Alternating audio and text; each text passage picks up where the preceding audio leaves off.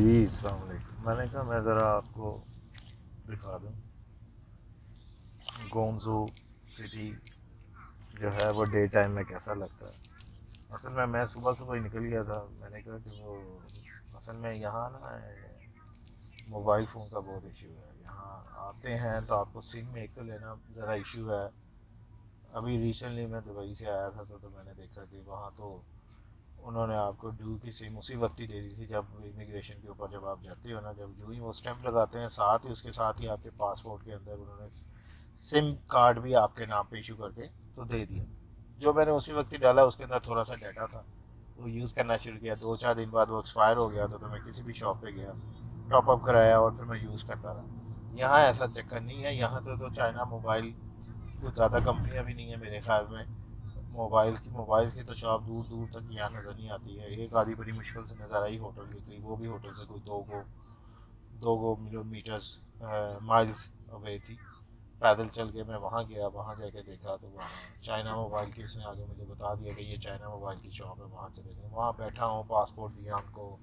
उन्होंने तस्वीरें खींची, ये किया, वो किया, उसके बाद पैसे लिए, रसीद दी। वही टिपिकल जो एक तरीका कार होता है। तो वो देने के बाद उन्होंने मुझे सिम कार्ड मेरे मोबाइल के अंदर डाल दी, चाइना मोबाइल की कि जी अब आप यूज़ कर सकते हैं इसको, जब तक भी आप हैं।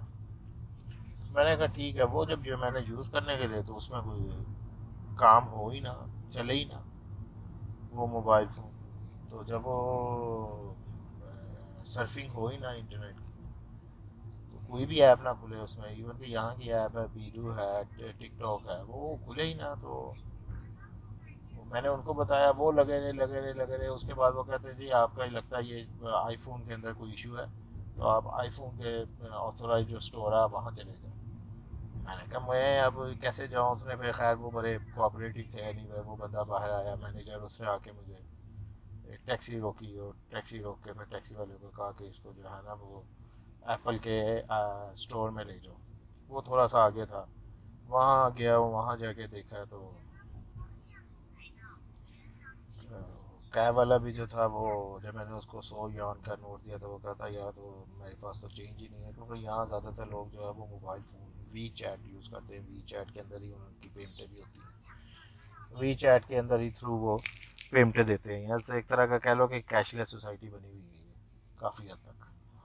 तो खैर एनी वे वो बड़ी मुश्किल से वहाँ गया। वहाँ भी उनको समझ ना लगे खैर, उस लड़की ने मुझे बड़ी, उसने घंटा लगा के, बड़ी मुश्किल से उसने फिर कहा कि उसने जो फाइंड आउट किया जो आईफोन स्टोर के अंदर थी ऑथोराइज स्टोर जो था, उसने सारा फाइंड आउट करके उस कहती है जो VPN आप लेकर आए हो ना यूके से, वो वाला वी पी एन यहाँ काम ही करेगा, वो काम ही नहीं कर रहा। उसने मुझे एक और पी लिंक के नाम से एक वीपीएन है, वो डाउनलोड किया, उसकी मैंने फिर पेमेंट दी तो थर्टी डेज़ की, के लिए। और वो जो पेमेंट थी, वो फिर आगे जो है, वो उसकी वजह से वो फिर मेरा नेट चल पड़ा। तो अब मैं उसको वी पी एन भी होना ज़रूरी है आपका साथ में, चाइना मोबाइल के साथ। तो क्योंकि बहुत सारी गूगल्स की ऐप होती हैं, वो आप नहीं ऑन कर सकते हो। मतलब गूगल मैप नहीं ऑन कर सकते हो आप। अब ये यहाँ की जो सारी, अब आप दो हफ़्ते के लिए आए हो, अब आप यहाँ की सारी ऐप्स कैसे डाउनलोड करोगे? सब की सब तो वो चाइनीज़ के अंदर मैंट्रीज में लिखी हुई है। आप कैसे वो जो है अंडरस्टैंड कर लोगे उन ऐप्स को?